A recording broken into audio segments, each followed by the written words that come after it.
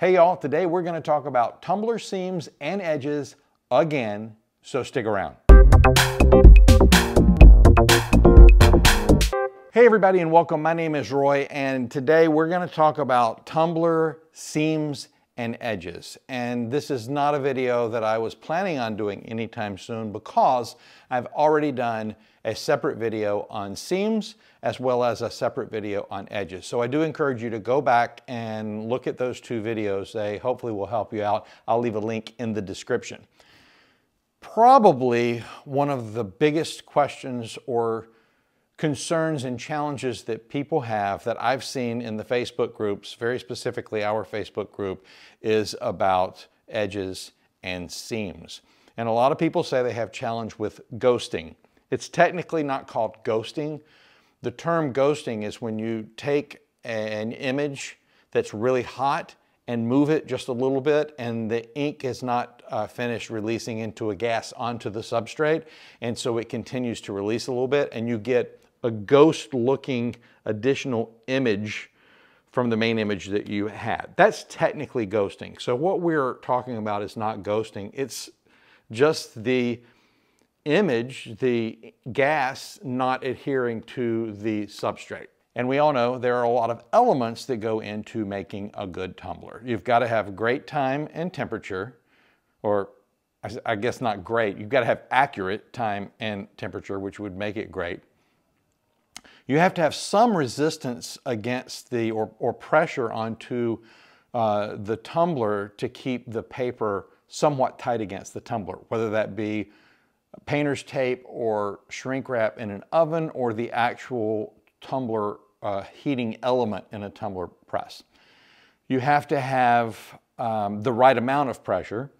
You have to have good ink. You have to have good sublimation paper, which by the way, if you're wondering, I have a video also um, comparing several different sublimation papers. All, most of them came out quite well actually. And then you have to have a good edge and a good seam, and that's what we're gonna talk about today. Some people are concerned that they're, they may not be using the correct ink or they may not be using the correct paper. If you have a tumbler and the design comes out great, and I'll give you an example, try to keep my uh, hands over that. If your color comes out great, it is probably not your ink or your sublimation paper. And it's probably not your time and temperature. It could have a little bit to do with your pressure, but probably not. I believe, at least from my experiences, is that it has a lot to do with how you put the paper onto the tumbler. And so we're gonna go over that today and a couple of the things that I do to um, not guarantee, but come really close to getting a, a great uh, edge and seam. So let's talk a little bit about this. I'm gonna use a matte tumbler today uh, because I like this uh, design. Uh, I think it'll look good on a matte. This particular design is partly a cloth flag and is partly um, on uh, parchment paper, uh, an old paper. And so I think it'll look really good on a matte design. Anyway, what I always do when I'm wrapping a tumbler first is I put it straight side up like I'd be drinking it. I take my design and have it straight up. I actually learned this from uh, Tamara at RTS Sublimation Blanks, Blanks, Blinks, RTS Sublimation Blanks. And then once I do this, I flip it over. And what I'll do then is make sure that both of the edges of the paper are flat against the tumbler. Now, what I will do before I do that is take a piece of tape and tape one side.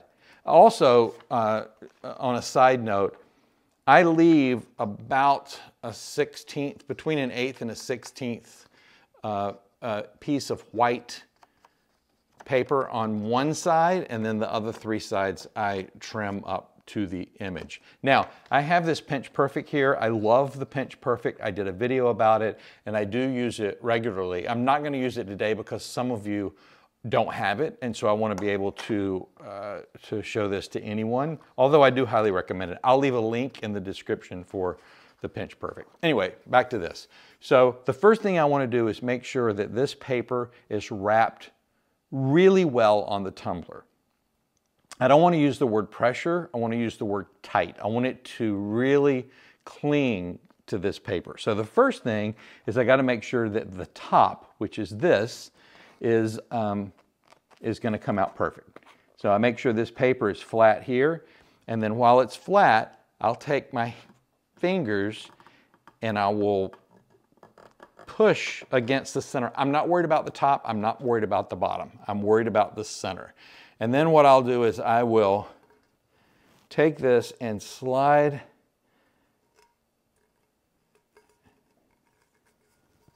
put that on there. So this center is tight isn't the word, um, snug is a, is a good word. It's snug against the, uh, the tumbler.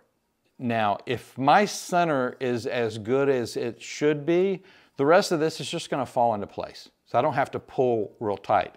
Not only do I not have to pull tight, but I don't want to. And the reason is I don't wanna buckle this up anywhere else and cause there to be a space that air can get into.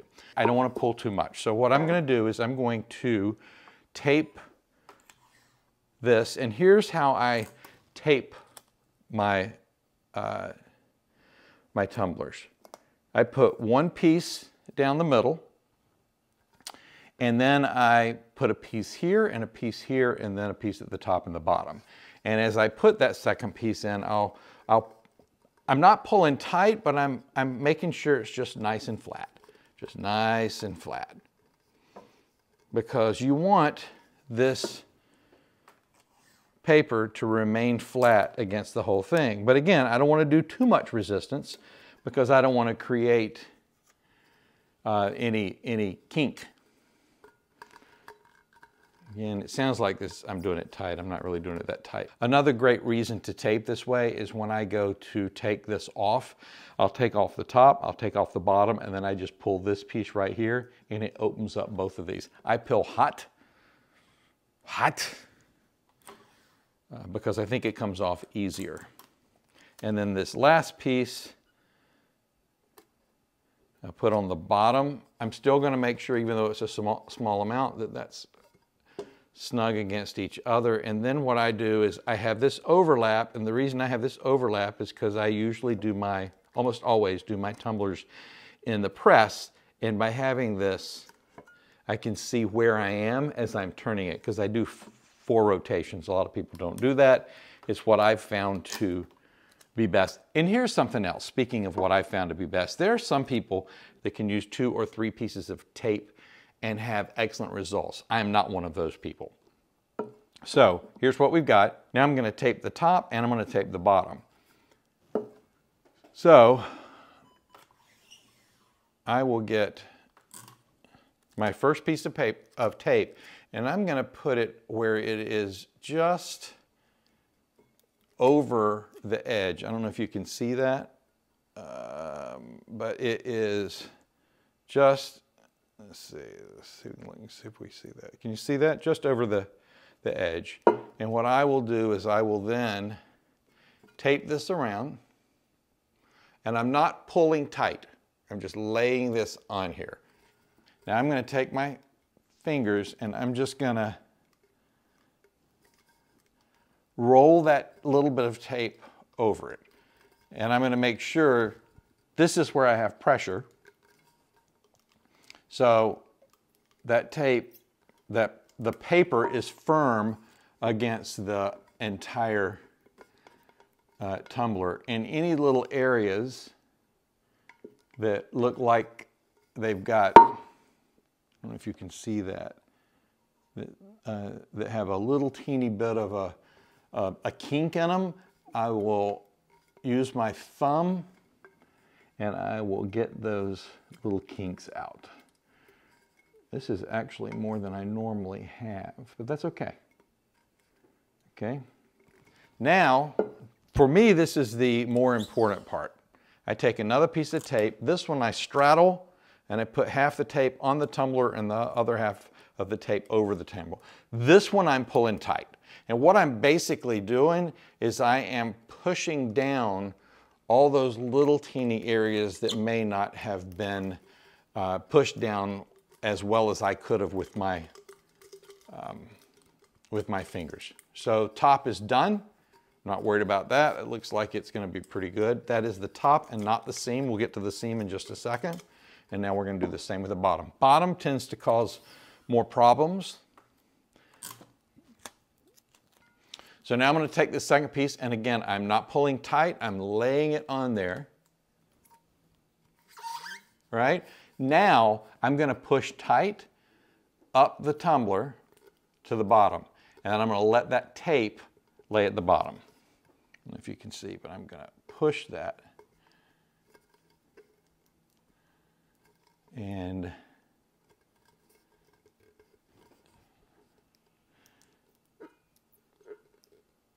and I'm going to have a few little kinks in it. That's okay.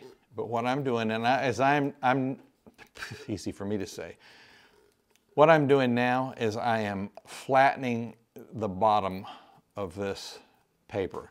Now, you can see there are some spots where that paper is kinked up a little bit. So the first thing that I want to do is go through with my finger and push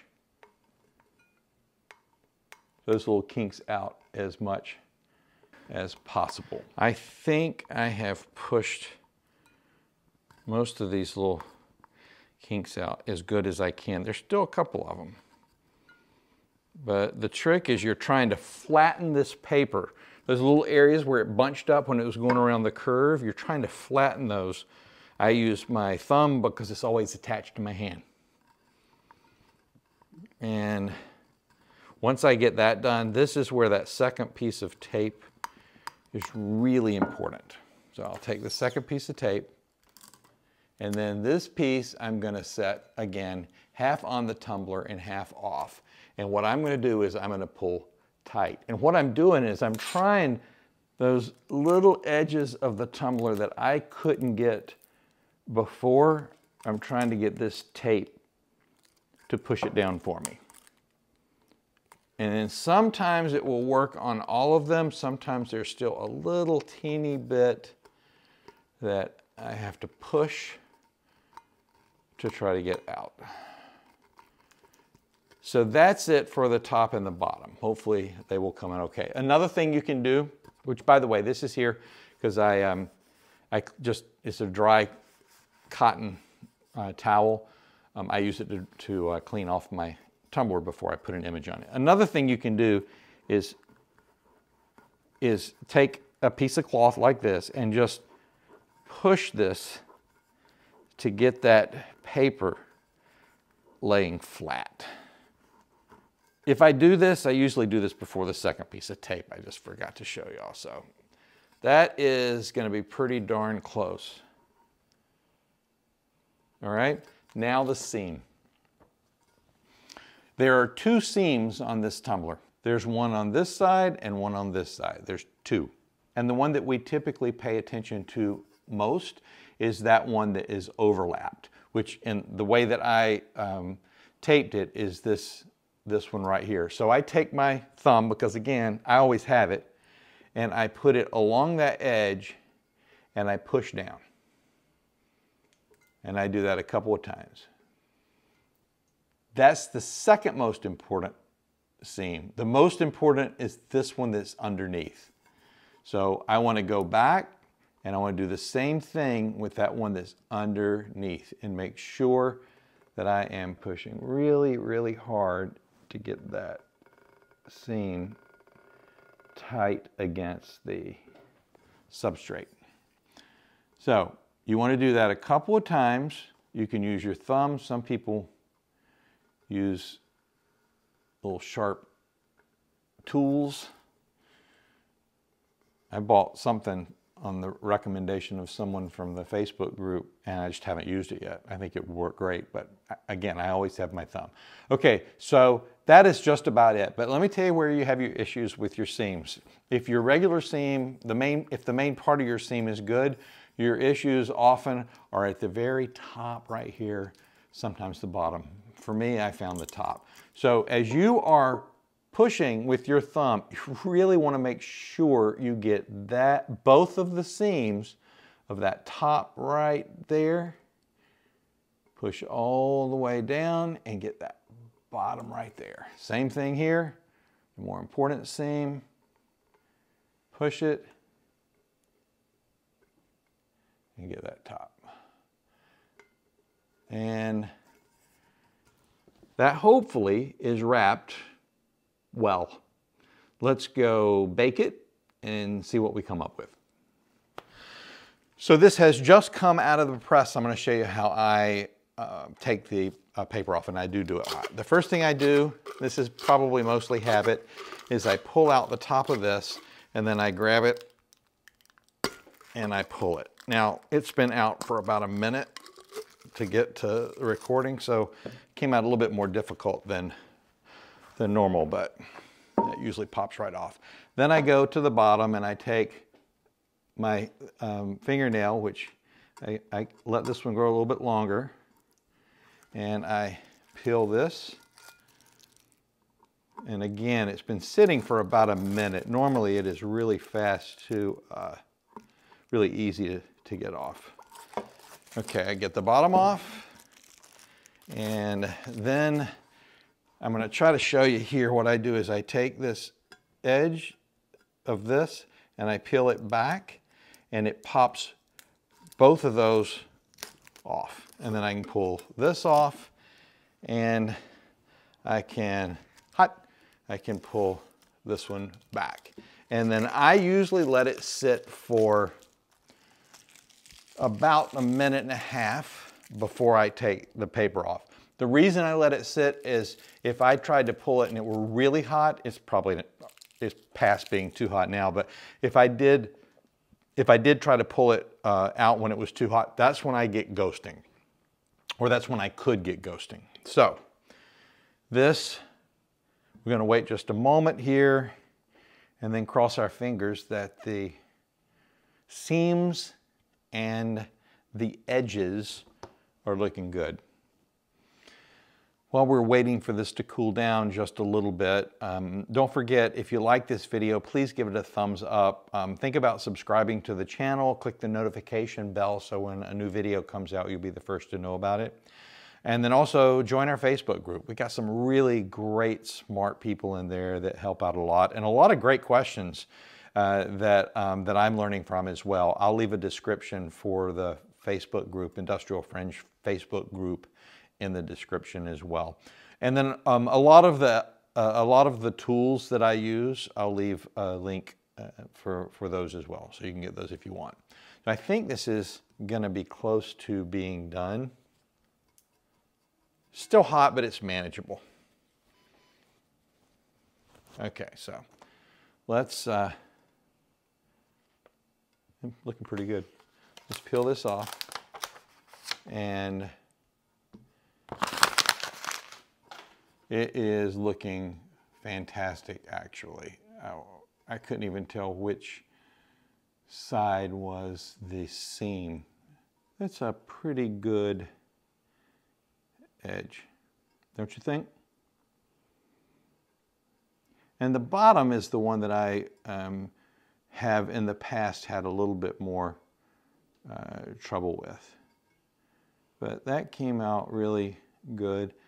Um, which one's the seam? Is this the seam?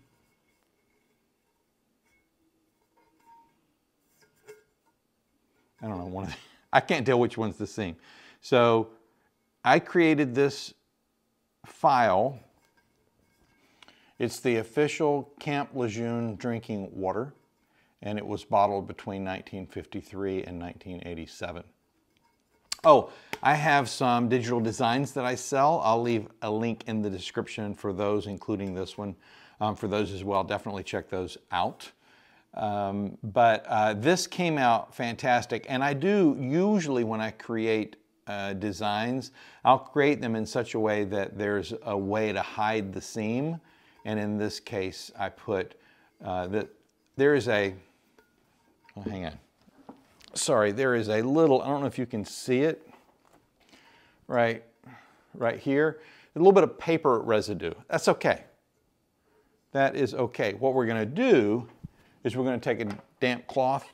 This isn't the same one that I used to clean it. I like a dry one for that. But literally we will just go and wipe that right off. And it will look good. So that is, dry it off a little bit, our finished file. And again, I think for seams, whenever you can, it's important to have a design that will help um, each side connect better. You can't take a, a, picture, and I think I mentioned this in the, in the video just about seams. You can't take a picture uh, that's got a, a, lake on one side of the design and a tree on the other side and wrap them around and expect them to connect. It's not going to happen. So when you're looking for designs, if you're looking for, you want really good seams, make sure you've got a design that will, um, that will uh, help you with that. So for the, the tops and the bottoms, wrap them. Again, some people don't have to wrap them at all. Um, some people don't tape the, tape the top or bottom, and I applaud them for that. I can't do it. However, my results um, are good, so it's worth it for me to do that extra uh, uh, taping. So there you have it. Sides, tops, bottoms, seams. Practice makes perfect and make sure that paper is tight against the substrate, in this case the tumbler, and make sure that stuff is taped down to where it is tight so you won't get any ghosting. Anyway, that just about does it for today. Again, um, please subscribe to the channel and click the notification bell, and I hope to see you again real soon. Have a great day.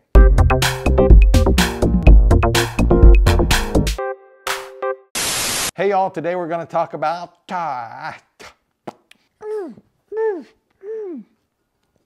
another great way, another